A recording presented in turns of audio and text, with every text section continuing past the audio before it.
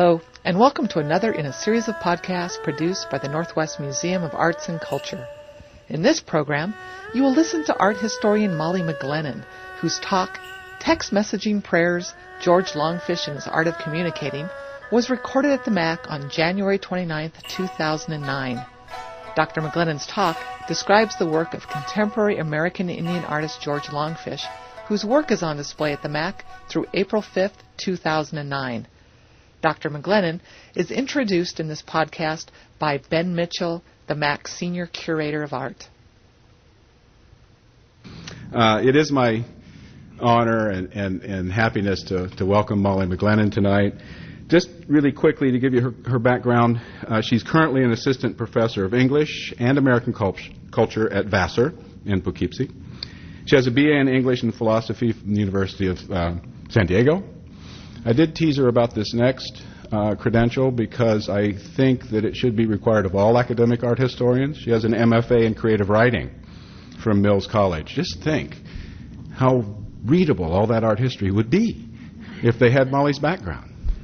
Um, a PhD in Native American Studies from UC Davis, and was an Andrew Mellon postdoctoral fellow at Vassar. And then she snuck onto the faculty and I bet they're happy for it. Also, uh, highly published. I won't run through all the books. One title I can't wait to read: "Like Fried Fish and Flour Biscuits," um, among many other t- titles. But currently, a nominee. How soon will you hear? Uh, April. April for an emerging scholar scholar award and fellowship from the University of Michigan, which is a very very wonderful um, opportunity and possibility. Uh, it really is a pleasure to welcome Molly McGlennen.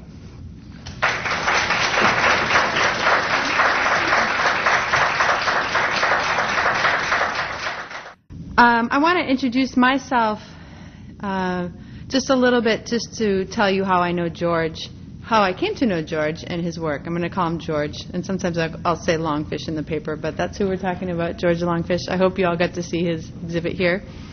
Um, I am from born and raised in Minneapolis, Minnesota. I'm um, mixed blood Ojibwe. My mom is from the Sandy Lake Band, and my dad is of Irish descent, hence the great uh, Irish name. And uh, like um, Ben said, I'm uh, teaching at Vassar there. So I'm a poet I have a or MFA in poetry, um, and I'm also a PhD in Native American Studies, where I studied Native American literature. So I have to say that I didn't. I'm not coming to his work as an art historian. I'm coming to his work as a creative writer and someone who studies other indigenous women's po- poets. So that's that's me in a nutshell. So here's my introduction, and I call it an introduction in the mirror because I'm looking back. I first met George Longfish in 2000 when I was a graduate student at the University of California Davis's PhD program in Native Studies. He had at that time been there a professor there for 25 years, and I was researching my way through the field of Native American literature, like I said, um, and writing my own poetry. We came together because of an independent study. I wanted to learn more about contemporary Native art and Longfish's art specifically because of his use of text in certain pieces. And the way his work and others, um, don't know if you know uh, the artist Jaune Quick to See Smith or Edgar Heap of Birds, um, like a strong pair of eyes, I felt like the work wouldn't let me ignore it.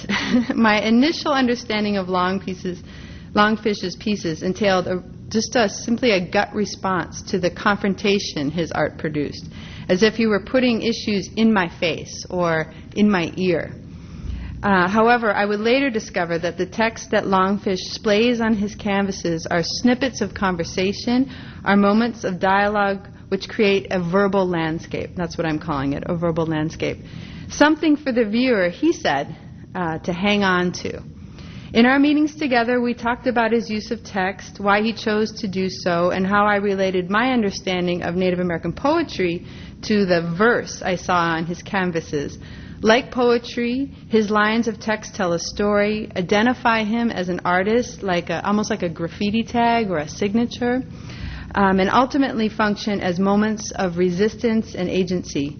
And like poetry floating on a bed of lines, images, and color, the text opens up a moment and a space for a listener.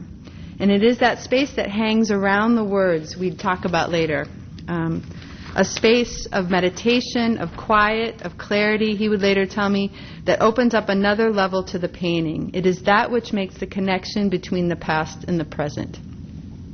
In, in 2003, I was commissioned by the National Museum of the American Indian in New York City uh, to write a short expo- exposition of Longfish's body of work, which would be part of an exhibit at the museum entitled Continuum 12 Artists. And because it serves as a basis for my understanding of Longfish's work, I want to just highlight a few parts of that as a way to introduce his use of text in his images. And then from there, I'll elaborate on this analysis by showing how his messaging works as a form of communion with the viewer in a way that both acknowledges the sacred origins of indigenous creative expression and provides an avenue toward personal and communal autonomy. And in this respect, the communication that is shared between the artist and the viewer through the medium of artistic expression acts as a declaration of artistic sovereignty, complicating and debunking the often romanticized and stereotypical imagery that depicts contemporary Native American life. And I know that's a mouthful, and I'm going to get through. I'm going to be done with all this analytical stuff in a second. We're going to get to looking at some paintings and laugh a little bit with him. So I just wanted to highlight some stories that he told me about how he enters into the creative act. Um, it's with spirit that he's guided into it, and he says beyond it, kind of through it and beyond it. Um, let me talk about this first piece. It's huge. It doesn't look huge here, but it's it's huge downstairs when you see it. Um, he told me the story of this um, image right here. This this Pawnee warrior, Peter Pitarasaru or man chief. Uh, he told me how it came to him. Um, for a long time, when he was doing this this piece, he he was unable to draw him. Uh, he kept failing at it. He felt like something was awry. Um, he said that then he remembered he had forgotten to do something. He had forgotten to ask permission to draw him, to render him. And so through uh, meditation and through prayer, he asked Pitarasaru if he could draw him. And George told me that this um, man chief spirit said, No, you can't, um, because I have a history of people taking my picture and stealing my spirit. And then George said to him, um, but I, I don't want to do that. I want to honor you with this drawing, uh, and I want to get out the right information. And so um, the Pawnee warrior said, Yes, you can. And George said, Then, as the Pawnee warrior was able to na- take the next step, so was he. And in three days, um, the drawing was finished. It came to him in a flurry. So that's one story about how he enters um, into the creative act. The next piece, it's we had a conversation about this. It's not a triptych, but it's three panels, modern times. It's this one, this one, and this one. But I'll I'll talk about each of them. Longfish, he always he's often asserted that native people must own their own cultural knowledge. He says the more we're able able to own our religious, spiritual, and survival information, and even language, the less we can be controlled. The greatest lesson we can learn is that we can bring our spirituality and warrior information from the past and use it in the present and see that it still works. Um, and so, modern times from 1994, for example, those three disparate, seemingly disparate images are linked by loaded textual commentary running across them. The first image is a self-portrait. This one we're seeing right here. And it says the words, um, if you can read it, 20th century tribal Seneca warrior, artist, healer. And I, I think that this positions the artist as a multidimensional human being, far from that stereotypical, quote, you know, Indian of popular culture.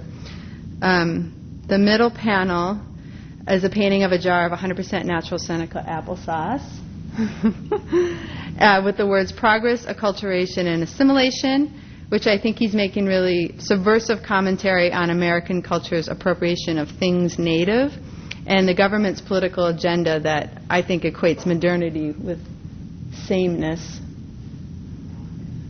homogeneity.